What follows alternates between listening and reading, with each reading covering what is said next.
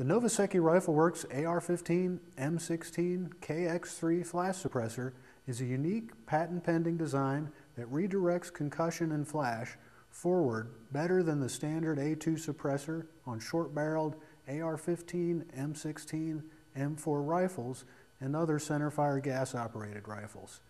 It virtually eliminates the side blast to protect nearby shooters.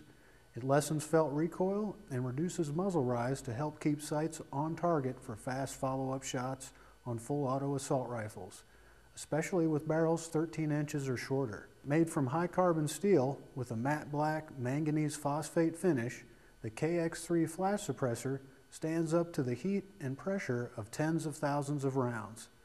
The standard three-quarter wrench flats allow easy installation with the same wrench used to remove a factory flash suppressor. A new crush washer is included. To learn more about installing or changing a flash suppressor, please watch our Installing a Flash Hider video from the How to Build an AR-15 video series.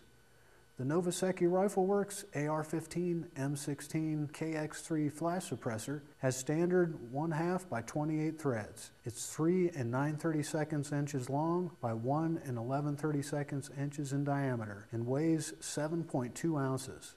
It's made in the United States and is backed by Brownell's 100% unconditional lifetime satisfaction guarantee.